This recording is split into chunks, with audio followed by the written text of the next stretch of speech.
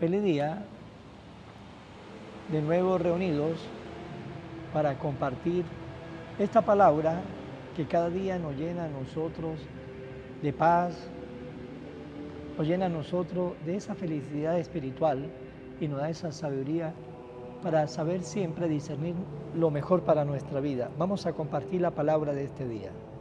Lectura del primer libro de los Reyes. Después de la muerte de Nabot, el Señor le dirigió la palabra al profeta Elías y le dijo, Levántate y ve al encuentro de Ahab, rey de Israel, que vive en Samaria. Se encuentra en la viña de Nabot, a donde ha ido para apropiársela. Dile lo siguiente, esto dice el Señor. Así que, además de asesinar, estás robando. Dile también, por eso dice el Señor, en el mismo lugar en que los perros han lamido la sangre de Nabot, los perros lamerán también tu propia sangre. Ahab le dijo a Elías, ¿has vuelto a encontrarme, enemigo mío? Le respondió Elías, sí, te he vuelto a encontrar, porque te has prestado para hacer el mal ante mis ojos. Dice el Señor, yo mismo voy a castigarte, voy a barrer a tu posteridad y exterminar en Israel a todo varón de tu casa, libre o esclavo. Haré con tu casa lo que hice con la de Jeroboam, hijo de Nebat, y con la de Basá, hijo de Agías, porque has provocado mi cólera y has hecho pecar a Israel.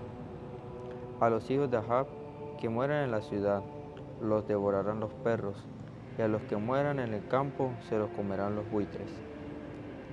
También contra Jezabel han hablado el Señor y ha dicho, los perros devorarán a Jezabel en el campo de Jezreel. Y es que en realidad no hubo otro que se prestara tanto como Ahab para hacer el mal ante los ojos del Señor, instigado por su esposa Jezabel. Su proceder fue abominable porque adoró a los ídolos que habían hecho los amorreos, a quienes el Señor expulsó del país para dárselo a los hijos de Israel. Cuando Ahab oyó estas palabras, desgarró sus vestiduras, se puso un vestido de yazal y ayunó. Se acostaba con el yazal puesto y andaba cabizbajo. Entonces el Señor le habló al profeta Elías y le dijo, ¿has visto cómo se ha humillado Ahab en mi presencia? Por eso no lo castigaré a él durante su vida, pero en vía de su Hijo castigaré a su casa. Palabra de Dios. Misericordia, Señor, hemos pecado. Por tu inmensa compasión y misericordia, Señor, apídate de mí y olvida mis ofensas. Lávame, lávame bien de todos mis pecados y purifícame de mis pecados Misericordia, Señor, hemos pecado. Puesto que reconozco mis culpas, tengo siempre presente mis pecados. Contra ti solo pequé, Señor, haciendo lo que a tus ojos era malo. Misericordia, Señor, hemos pecado. Aleja de tu vista mis maldades y olvídate de todos mis pecados. Líbrame de la sangre, Dios Salvador mío y aclamará mi lenguas tu justicia. Misericordia, Señor, hemos pecado. Lectura del Santo Evangelio según San Mateo. En aquel tiempo Jesús dijo a sus discípulos, han oído que se dijo, ama a tu prójimo y odia a tu enemigo. Yo en cambio les digo, amen a sus enemigos, hagan el bien a los que lo odian y rueguen por los que persiguen y columnian, para que sean hijos de su Padre Celestial, que hace salir su sol sobre los buenos y los malos, y manda su lluvia sobre los justos y los injustos. Porque si ustedes aman a los que aman, ¿qué recompensa merecen? ¿No hacen eso mismo los publicanos? Y si saludan tan solo a sus hermanos, ¿qué hacen de extraordinario? ¿No hacen eso mismo los paganos? Ustedes pues sean perfectos como su Padre Celestial es perfecto. Palabra del Señor. Gloria a ti, Señor Jesús.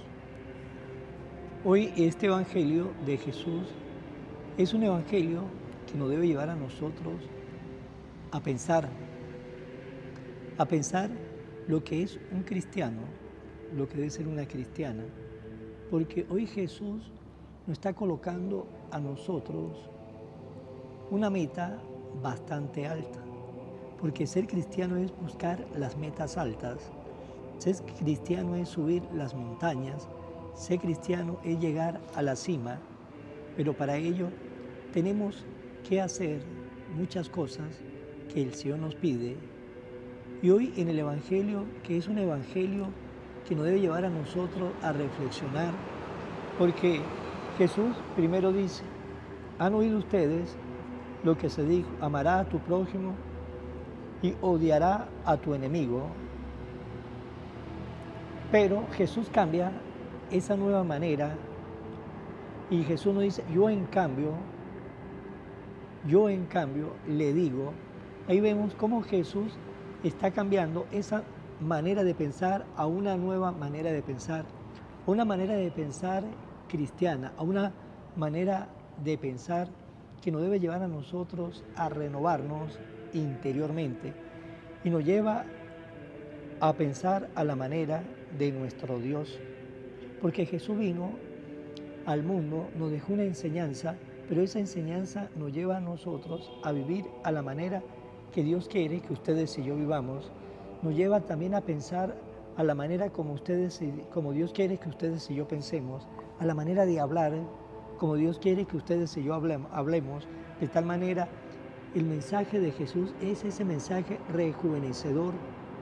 Viene a rejuvenecer todo aquello que estaba viejo en el corazón de los hombres. Y por eso nos dice Jesús, eh, yo en cambio le digo, amen a sus enemigos, hagan bien a los que los odian y rueguen por los que persiguen y calumnian para que sean hijos de su Padre Celestial, para que sea hijo de su Padre Celestial. ¿Por qué? ¿Por qué Jesús nos lo dice de esa manera?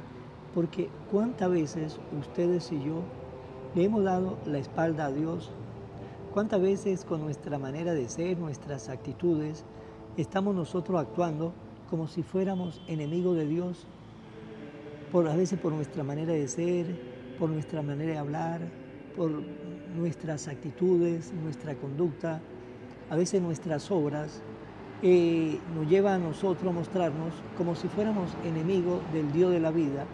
¿Y cuál es la actitud de Dios para con nosotros? Es una actitud de perdón, es una actitud de amor, es una actitud de piedad para nosotros que somos sus hijos. ¿Y qué es lo que hace en el Evangelio Jesús? Jesús, de una u otra manera, nos está diciendo que debemos tener nosotros piedad por aquellos que de una u otra manera nos odian, por aquellos que nos calumnian, por aquellos que son nuestros enemigos, aquellos que nos ven a nosotros como sus enemigos. Y Jesús nos dice que debemos tener esa actitud que tiene Dios para con nosotros, una actitud de misericordia. ¿De misericordia de qué manera? Nos dice el Señor, orad por vuestros enemigos, oren por los que los odian, oren por aquellos que los calumnian, oren por ellos, perdónelo a ellos. Es la nueva manera que Jesús nos dice que ustedes y yo debemos actuar en esta vida. Y el Señor también nos lo dice, si solamente aman a los que le aman, ¿qué recompensa merecemos? Eso mismo lo hacen las personas, dice el Evangelio de los publicanos, y si saludamos solamente a los que, a, nuestros hermanos, qué cosa extraordinaria estamos haciendo, eso mismo lo hacen los paganos. Los paganos son aquellos que todavía no conocen en la existencia del Dios único y verdadero. Pues bien, así vemos cómo personas, los corruptos, los narcotraficantes, eh, ladrones, personas malas en la vida, saben amar a su familia, saben amar a los suyos, pero no sabe amar a los demás. Y como no sabe amar a los demás, por eso esa maldad de ese grupo de gente para dañar a muchas personas. Y si ellos, que son malos, saben amar a su familia, ¿qué cosa extraordinaria están haciendo? Dice Jesús, nada, porque lo normal es que nosotros amemos a nuestra familia, es lo normal, lo anormal es que no lo hagamos.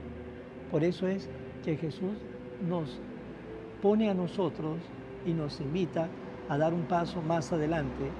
El amor de la familia es sin duda alguna una obligación, pero el Señor nos pide también un paso más adelante para amar a nuestro prójimo, para ser solidarios, para amar a aquellos que no es ni arte ni parte de nuestra sangre, pero que nosotros nos tenemos que abrir a ellos para también brindarle nuestro amor, porque eso es lo que Dios nos pide a cada uno de nosotros. Y por eso esa invitación que nos hace Jesús en el Evangelio cuando nos dice, sean perfectos como su Padre Celestial es perfecto. Jesús sabe que nosotros vamos a encontrar la perfección de nuestro Padre, de nuestro Dios, y que vamos a quedar muy lejos de esa perfección. Pero el Señor lo que nos pide es tener ese ejemplo que Él nos da, amar a nuestros enemigos. Jesús cuando estaba en la cruz, estaba crucificado, estaba muriendo. ¿Qué era lo que decía Jesús Padre? Perdónalos porque no saben lo que hacen. Ahí estaban sus enemigos, ahí estaban los que los odiaban, ahí estaban todos aquellos que lo calumniaron, estaban ahí. Y Jesús desde la cruz le pedía al Padre, Padre, perdónalos porque no saben lo que hacen. Ese es el corazón de Dios. Y también Jesús quiere que ustedes y yo tengamos un corazón así como el corazón de nuestro Padre, porque cuando sabemos perdonar de corazón, tenga la seguridad que no vamos a envenenar nuestro corazón cuando sabemos nosotros orar por aquellas personas que nos dañan, tengan la seguridad que nuestra alma estará limpia y nos vamos a sentir siempre en paz, vamos a vivir tranquilo. Pero cuando una persona este, vive de ese odio, vive de ese rencor, vive de lo que pasó en el pasado, pues directa o indirectamente va envenenando su vida, va envenenando su alma, su corazón y por eso tiene actitudes también del mismo estilo. Pues bien, hoy Jesús nos enseña a seguir los ejemplos de nuestro Dios, saber perdonar, orar por aquellos que se llaman nuestros enemigos, saber pedir perdón, saber vivir en la vida, saber pasar la hoja, no llenar el corazón de veneno, sino todo lo contrario, tener nuestro corazón limpio, porque hay una invitación que nos hace Jesús sean perfectos como nuestro Padre Celestial es perfecto. Vamos a finalizar en mano de María. Oración a la Virgen María. Oh Virgen María, Madre de Jesús y Madre mía, como en Caná te das cuenta cada día de lo que yo necesito. Ruega a Jesús por mí, cuídame siempre, no me dejes nunca. No permitas que me aleje de Jesús, tu Hijo amado. Ayúdeme a corregir mis defectos que me alejan de Jesús y fomentar mis virtudes que me acercan a Él sea siempre mi madre protectora a lo largo de toda mi vida. Amén. Será hasta mañana, Dios mediante, en el nombre del Padre, del Hijo y del Espíritu Santo. Amén. Evangelio de hoy con el Padre Iván Jaimes.